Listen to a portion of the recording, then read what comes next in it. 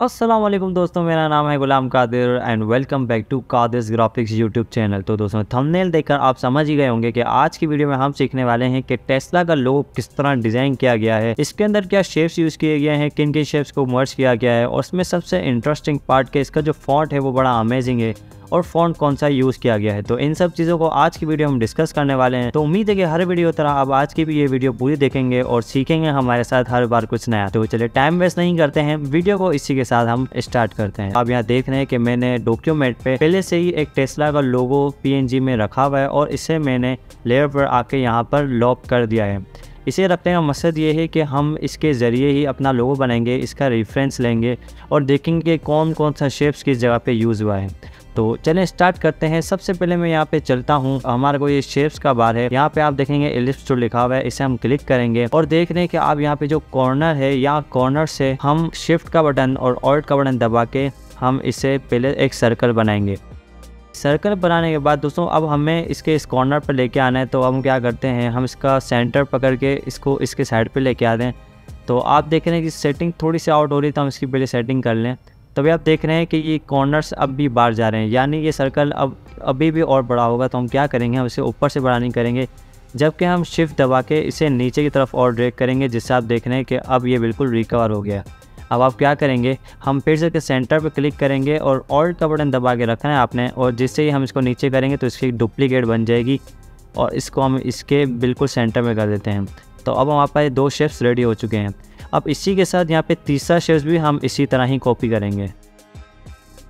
तो दोस्तों, आप देख रहे हैं कि तीनों शेप्स हमने बिल्कुल बराबर कॉपी कर दिए हैं। अब हमें एक और कॉपी लेनी पड़ेगी, वो कॉपी किस लिए होगी? क्योंकि आप देख रहे हैं जो टी का जो कर्व बनता हुआ आ रहा है, ये भी इसके ज़रिए बना है। तो हम इसे भी ऐसे ही कॉपी करके या इसके हम सेटिंग करेंगे।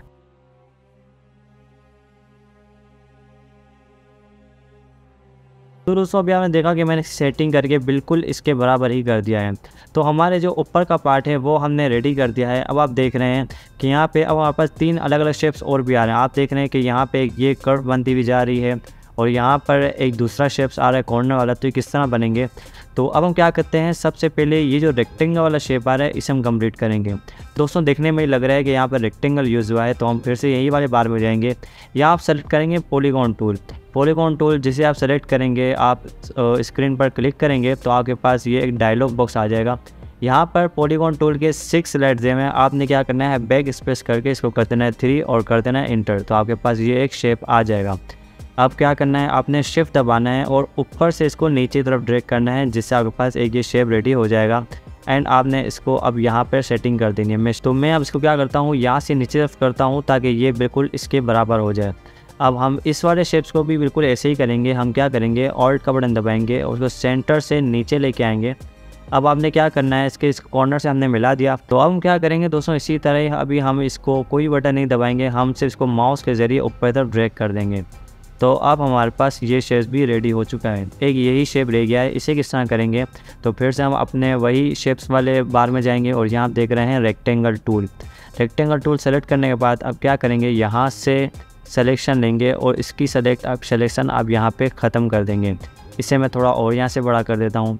अब आप क्या करेंगे? यहाँ पे आप देख रहे हैं डायरेक्ट सेलेक्शन टूल दिया हुआ है, आप इस पर क्लिक करेंगे और यहाँ पर आपको एंकर पॉइंट के नीचे एक और गोल वाला पॉइंट दिख रहा है। आप पहले इसे सेलेक्ट करेंगे और शिफ्ट दबा के सामने वाले का भी आप इसी तरह सेलेक्ट करेंगे एंड देन आप इसको नीचे तरफ़ ड्रैग कर देंगे।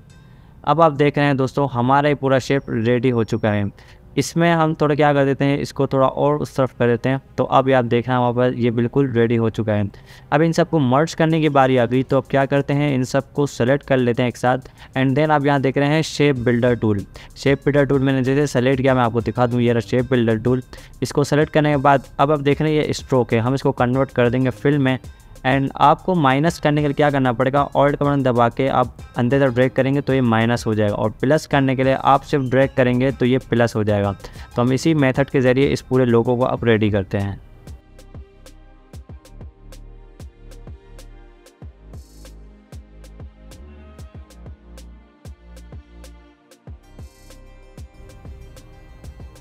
तो दोस्तों शेप बिल्डर टूल से अब मैंने इसे मर्ज कर दिया है। तो अब हम क्या करते हैं, हमारा ये वाला पार्ट उठा के और ये वाला पार्ट को सिलेक्ट करके हम कर देते हैं साइड पर। जिसे अब आप देख रहे हैं कि हमारे पास हमारे लोगो रेडी हो चुका है।